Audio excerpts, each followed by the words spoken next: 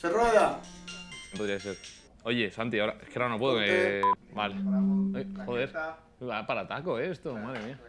Escena Joder, 63, tío, qué nervios. X toma 1. Es que una vez actué en el colegio haciendo de pastorcillo, pero no tiene nada que ver. Sí, sí, sí, bueno, sí. A ver qué tal.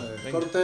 Bueno, pues la verdad que a mí el cochinillo me gusta con patatas. Y Bueno, Mario, cuéntanos, ¿cómo conociste la marca GG?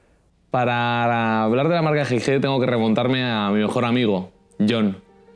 Y un día me contó lo que hacía de Airsoft y cómo usaba las armas de G&G en todas sus prácticas.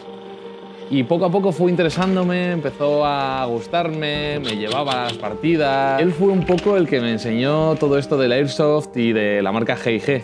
Y la verdad es que me encantó. Yo tenía otras marcas que eran muy cutres, pero claro, él aparecía con un pedazo de pepino y de troncho increíble. O sea, eran unas pedazos de armas, que- pero bueno, al final íbamos juntos y nos lo pasábamos muy bien.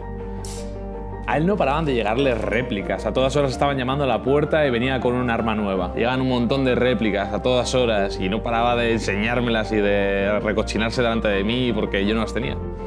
Hacíamos muchas cosas en la casa, pasábamos una convivencia muy, muy agradable entre los dos y, y era genial. Lo que pasa es que mi arsenal era muy penoso y él tenía siempre lo último, miras telescópicas, eh, M4A1, un montón. Y yo iba con una réplica que era una chufa, no servía para nada. Yo ahora tengo, tengo un montón, la verdad. No sé si tengo todos, de hecho, porque bueno, eh, John se fue al Himalaya y me lo dejó todo. Dijo que quería deshacerse de todo lo material y que no necesitaba nada de lo que tenía, así que me lo, me lo dejó. Y ahora tengo toda su colección. ¿Disfrutas con ellos?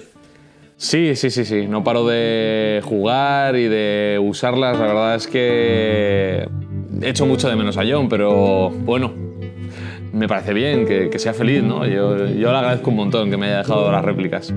De GG, ¿verdad? Sí, hey, hey. Eh, eh, bueno, eh, a- atended, que no, ahí no pasa nada. Eh, eh, encontró la paz y se fue al Himalaya y me dejó todo, todo todas sus réplicas. John, ha venido del Himalaya, John. ¿Qué tal, ha- qué tal ha ido? Oye, ¿esto lo, esto lo, lo cortáis o...? Eh, yo- no me has avisado, no me...